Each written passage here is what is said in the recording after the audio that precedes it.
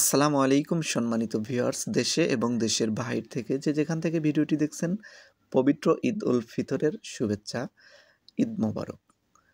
প্রিয় বন্ধুরা, আপনাদের মাঝে কুয়েতের সর্বশেষ আপডেট নিউজ নিয়ে হাজির হলাম আমি জাহিদুল ইসলাম। জাহিদ, কুয়েত থেকে আজকে নয় এপ্রিল রোজ রবিবার কুয়েতের আগামীকালকে ইনশাল্লাহ ঈদ, দশই এপ্রিল রোজ বুধবার ঈদ হবে এবং বাংলাদেশিদের জন্য ঈদ হবে এগারোই এপ্রিল রোজ বৃহস্পতিবার। সো সবাইকে ঈদ মোবারক জানিয়ে ভিডিওটি শুরু করতেছি। কুয়েতের সর্বশেষ আপডেট নিউজে আজকে যা আপনারা জানতে পারবেন তা হলো কুয়েতের সর্বশেষ ঘটে যাওয়া কিছু নিউজ দেব, তারপরে ভিসা আপডেট নিয়ে কথা বলব, তারপরে কথা বলব হলো কুয়েতের সাধারণ ক্ষমা বিষয়ে কথা বলব, তারপরে কথা বলব হলো কুয়েতের অভিযান সংক্রান্ত কিছু বিষয়ে, এবং সর্বশেষ কথা বলব দিনের রেট সংক্রান্ত। সম্মানিত ভিউয়ার্স আগামীকালকে নয় এপ্রিল, রোজ বুধবার সকাল পাঁচটা বেজে তেতাল্লিশ মিনিটে ঈদের জামাত শুরু হবে এবং তেপ্পান্নটি জায়গায় ঈদের জামাত পড়ার অনুমতি দিয়েছেন কুয়েত সরকার থেকে এবং হাজার হাজার মসজিদেও ঈদের জামাত অনুষ্ঠিত হবে। সম্মানিত ভিউয়ার্স পবিত্র ঈদের উপলক্ষে কুয়েত গভর্নমেন্ট থেকে বা কুয়েত সরকার থেকে সবাইকে উষ্ণ অভ্যর্থনা জানানো হয়েছে, শুভেচ্ছা জানানো হয়েছে। এবং কুয়েত সরকারিভাবে তিন দিন ছুটি ঘোষণা করা হয়েছে, সেটা হচ্ছে মঙ্গলবার, বুধবার, বৃহস্পতিবার। সাথে আছে সরকারি ছুটি দুই দিন, শুক্রবার, শনিবার। টোটাল ছুটি তাহলে মোট পাঁচ দিন। সাধারণত যাদের শনিবার ডিউটি আছে, তাদের ছুটি হবে মোট চার দিন। আসলে মধ্যপ্রাচ্য সহ সৌদি আরব বলেন, কুয়েত বলেন, ওমান বলেন, এই দেশগুলোতে ঈদের তেমন একটা আমেজ নেই। আসলে প্রকৃতপক্ষে আমি যে জিনিসটা লক্ষ্য করলাম, সেটা ঈদের আনন্দ সবচেয়ে বেশি আমাদের প্রিয় বাংলাদেশেই হয়। বাংলাদেশিদের মধ্যে যেরকম ঈদের একটা আমেজ আছে, কেনাকাটার থেকে শুরু করে আত্মীয় স্বজন বাড়িতে আসা, সবার সাথে মিট করা, একটা একটা অসাধারণ অনুভূতি। সত্যি, ঈদ মানে বাংলাদেশ বুঝতে হবে। এখানে সৌদি আরব বলেন বা কুয়েত বলেন, মধ্যপ্রাচ্যের যেগুলো দেশ বলেন, এটা ঈদের দিন মানে সাধারণ একটা দিনের মতোই চলে যাচ্ছে। তেমন কোনো এক্সট্রা আয়োজন নেই বা এক্সট্রা কোনো উৎসব আমি এখন পর্যন্ত দেখি নাই। বাংলাদেশের মার্কেটগুলোতে কিন্তু কেনাকাটার হিরিক লেগে যায়, এত পরিমাণ ভিড় হয় ঈদের সময়। মানে আসলে বাংলাদেশের যে কোনো জায়গায় গেলে ঈদের একটা আমেজ পাওয়া যায়। গাড়ি ভাড়া ডাবল দিতে হয় থ্রি ডবল দিতে হয়, ঈদের জামা কাপড় বেশি দামে কিনতে হয়, তারপরও কিনতে হবে সবার জন্য।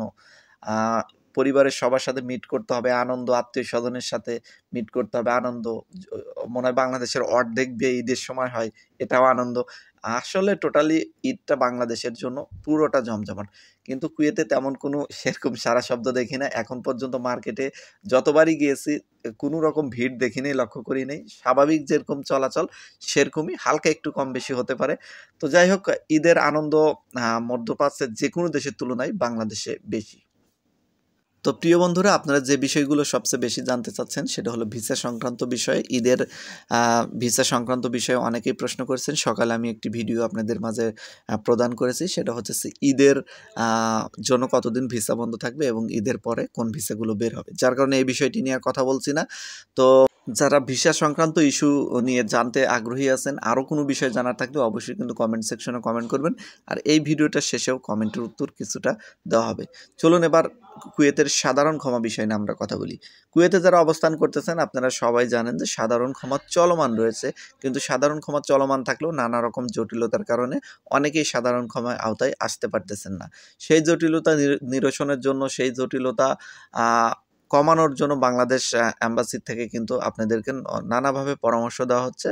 যার কারণে আপনারা যারা এই কাজগুলো করবেন, বিশেষ করে এখানে আকামা নবায়ন করবেন, অবশ্যই আপনারা অ্যাম্বাসি থেকে মূল্যবান পরামর্শ নেবেন এবং তাদের দিক নির্দেশনা অনুযায়ী কাজ করবেন। তাহলে সফলতা হওয়ার সম্ভাবনা বেশি।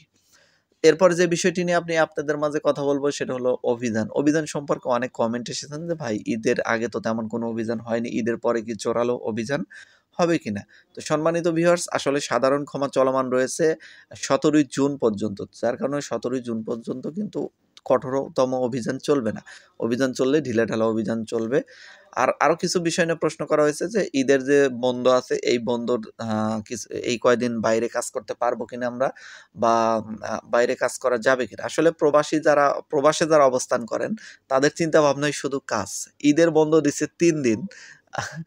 বা চার, পাঁচ দিন পাচ্ছে অনেকেই। আর এই সময়টাতেও তারা বাইরে কাজ করার চিন্তা ভাবনা করে। মানে কীভাবে কাজ করা যায়, এগুলো নিয়েও আমাকে কমেন্ট করেছেন, অনেকে জানতেছেন।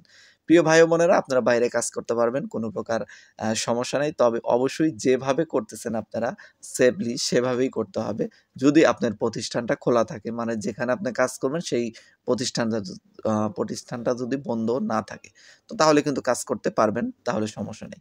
তবে একটি বিষয়ে সবার উদ্দেশ্যে বলতেছি বাংলাদেশে যেরকম ঈদের বোনাস দেওয়া হয়, সে, কুয়েতে কিন্তু সেরকম ঈদ বোনাস তেমন একটা দেওয়া হয় না কোম্পানি থেকে। খুবই অল্প সংখ্যক কোম্পানিতে হয়তো ঈদ বোনাস দেওয়া হয়, বেশিরভাগ কোম্পানিতে কিন্তু ঈদ বোনাস দেওয়া হয় না। এখানে মানে সরকারিভাবে কোনো রুলস নাই যে ঈদ বোনাস দিতেই হবে।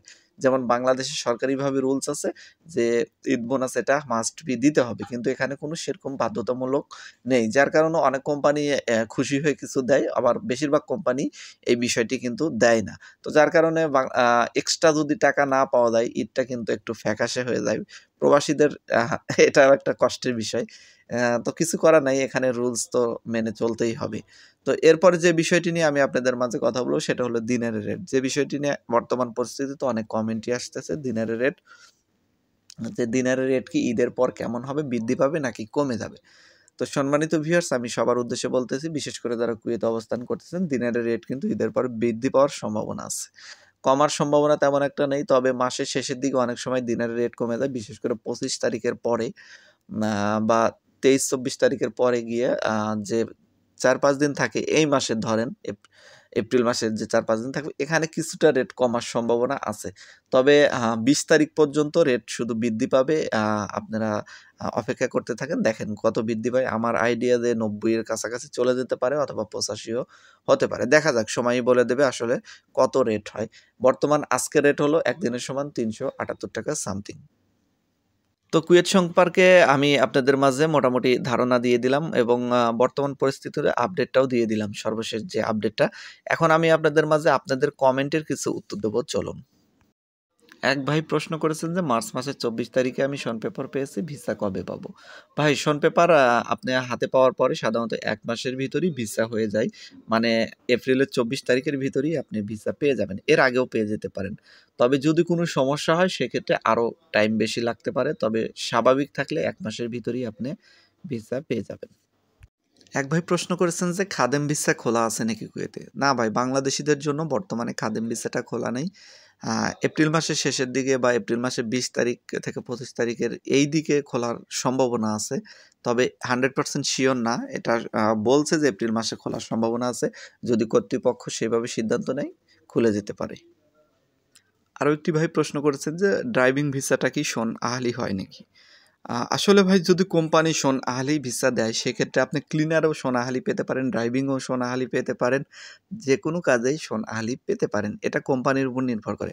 আপনি যদি ড্রাইভিংয়ে সোনাহালি ভিসাতে আসেন, তাহলে অবশ্যই আপনি ড্রাইভিংয়ে শোন আহলি ভিসা পাবেন। যেমন কেপিটিসির যে ড্রাইভিং ভিসাগুলো আছে, প্রতিটা ভিসাই কিন্তু শোন আহলি ভিসা এরকম অনেক কোম্পানির থেকেই শোন আহলি ভিসা দেওয়া হয়। তবে আরেকটি বিষয় এখানে গুরুত্বপূর্ণ, বেশিরভাগ ড্রাইভিং কিন্তু শোন আহলি ভিসা হয়। তবে হাউস ড্রাইভিংয়ে যারা আসতেছেন, তাদের ভিসা কিন্তু শোন আহলি না, সেটা হলো খাদেম ভিসা অবশ্যই এই বিষয়টি আপনারা জেনে বুঝে তারপরেই আসবেন। আরও একটি ভাই প্রশ্ন করেছেন যে, শোন ফ্রি ভিসা বলতে আসলে কি ভিসা বোঝায়? আসলে ভাই, শোন ফ্রি ভিসা বলতে কোনো ভিসা নেই কুয়েতে। এটা আসলে আপনাদেরকে খাদেম ফ্রি ভিসাকে শোন ফ্রি ভিসা নামে চালিয়ে দিচ্ছে। মানে এখানে একটা শুভঙ্করের ফাঁকি আছে। খাদেম ফ্রি ভিসা যেগুলো কুয়েত থেকে বের হয়, সেগুলোকেই শোন ফ্রি ভিসা বলে আপনাদের কাছে বিক্রি করে উচ্চ রেটে আসলে ভাই ফ্রি ভিসাতে কোনো শোন, আহলি ভিসা হয় না। এটা আলাদা। এটা ক্যাটাগরি আলাদা। যেটা আপনি ফ্রি ভিসা আসতেছেন সেটার ক্যাটাগরি আলাদা। আর ফ্রি ভিসায় আসার পরে আপনি অবশ্যই কিন্তু যে খাদেমের আন্ডারে আপনার আকামা নবায়ন করা হবে, সেই খাদেমের আন্ডারে যদি কোম্পানিগুলো থাকে ভালোভাবে কাজ করতে পারবেন, কোনো সমস্যা হবে না। আর যদি আদার্স কোম্পানিতে জব করেন, সেক্ষেত্রে নিজেকে কিন্তু সতর্কতার মধ্যে রেখেই কাজ করতে হবে, কারণ আদার্স কাজ করা কিন্তু কুয়েতে অবৈধ। তো আশা করি বুঝতে পেরেছেন। তারপরও কিন্তু হাজার হাজার প্রবাসীরা ফ্রি ভিসাতে আছে কুয়েতে, বাংলাদেশ, ইন্ডিয়া থেকে আসে, অনেক লোকই আছে। তারা কাজ করতেছে, সবার আসলে তো বিপদ হয় না, বিপদ দু একজনের হয়। কিছুদিন আগে অভিযানে অনেকে ফ্রি ভিসা ধারিয়েও ধরা পড়েছিলেন। তো যার কারণে ফ্রি ভিসাতে আসলে অবশ্যই একটু সাবধানে কাজ করতে হবে এবং কাজ যদি আপনি ভালো জানেন, ভালো কোনো কাজ জানেন, তাহলে এবং নিজস্ব যদি কুয়েতে লোক থাকে, তাহলে ফ্রি ভিসাতে আসতে পারেন, সমস্যা হবে না। তবে নতুন লোক হলে অবশ্যই ফ্রি ভিসা নয়, কোম্পানির আহলি ভিসাতে আসার চেষ্টা করবেন। প্রিয় বন্ধুরা, আপনাদের মূল্যবান কমেন্টের কিছু উত্তর দিলাম, যেগুলো খুবই ইম্পর্টেন্ট ছিল। তো আরও যদি কোনো বিষয় জানার থাকে, অবশ্যই কমেন্ট করবেন। পরবর্তী ভিডিওতে আপনাদের কমেন্টেরও উত্তর দেওয়া হবে। আজকের মতো এখানেই বিদায় নিচ্ছি। সবাই ভালো থাকবেন। সবার জন্য দোয়া এবং শুভকামনা রেখে বিদায় নিলাম। সবাইকে আবারও ঈদের শুভেচ্ছা, ঈদ মোবারক।